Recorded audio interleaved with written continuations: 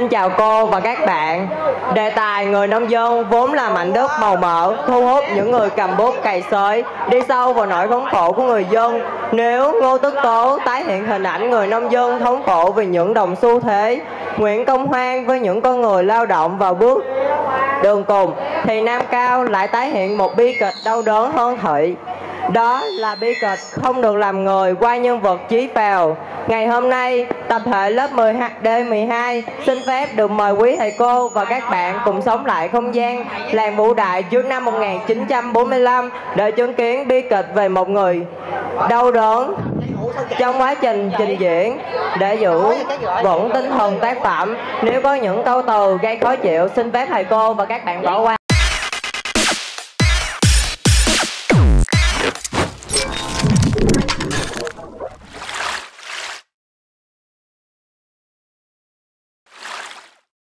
Tao cầm cầm cái gì Mà sao ưu làng chúng mày Tao chửi ưu làng chúng mày Tao chửi cái đứa đó sinh ra tao.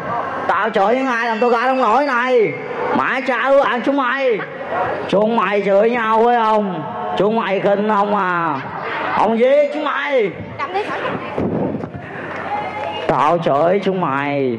Chúng mày bỏ ông Chúng mày khinh ông Ông hận chúng mày Ông giết chúng mày.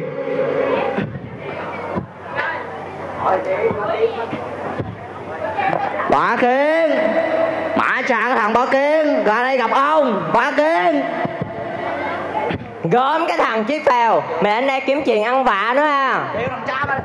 Kêu thằng cha mày ra đây gặp tao. Mày dám chửi ông à. Tao làm nữa coi. Nào Mày nào. tôi Để tao dạy mày. từ Nó từ giết nói tôi vào nhà tôi. cho bố. Nó à, giết con tôi. đi. Không có chuyện gì đâu. Nó giết tôi. Này anh chí. Nó giết tôi. Về làm việc cho tôi. Vừa có rượu vừa có thịt Trời ăn. phúng Chúng mày mau trả nợ cho bà Kiên Trời nãy tôi nói ông đừng có đẩy mạnh tôi. Trời mát thế nhờ Thôi thì nằm chợp mắt một tí. Nước thì nó cũng còn ở đấy Chứ có chảy đâu đâu nhờ Tận tiền không Ai đây? Ai dám giành chỗ của ông đây? À thì ra là con nợ. Hôm nay nhìn cũng xinh thế. Tránh ra mà kêu làm bây giờ. Kêu à Mày kêu à Mày kêu thử xem có ai đến đây không? Nói tránh xa ông còn không kịp. Tránh ra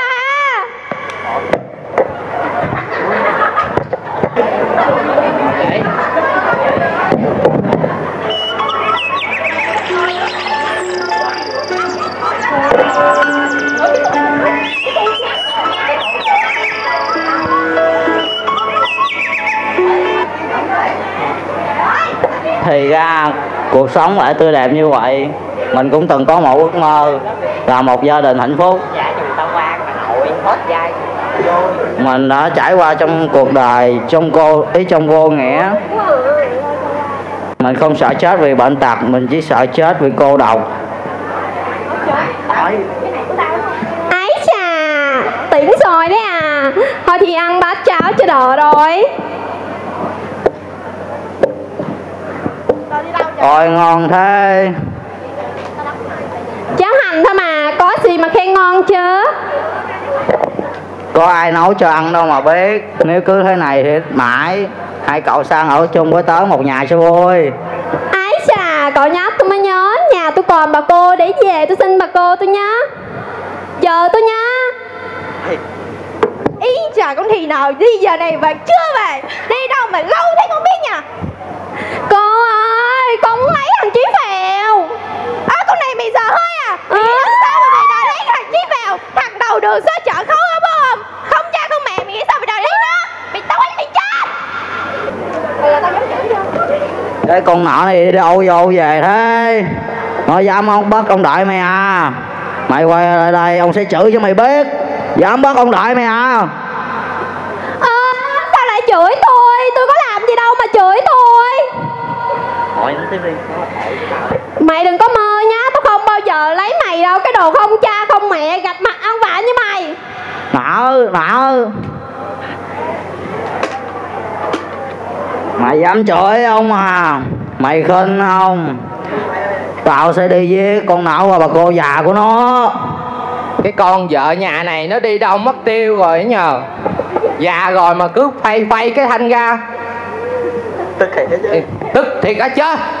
Ta sẽ cho lũ trai trẻ trong làng giống thằng chí phèo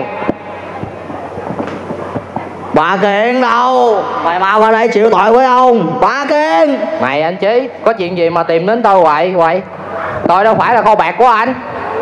Tao không đến lấy xin tiền, tao muốn làm người lương thiện. Gớm, anh mà làm người lương thiện thì cái làng này được nhờ tao muốn làm người lương thiện, nhưng ai cho tao làm người lương thiện? Chính mày chính mày đã giết chết tao. Chính mày đã làm tao ra đông nổi này. Bà kiên à. lạ lên lạ lên chính mày. Chính mày đã giết chết tao. Chính mày đã làm tao ra đông nổi này. Bà kiên đấy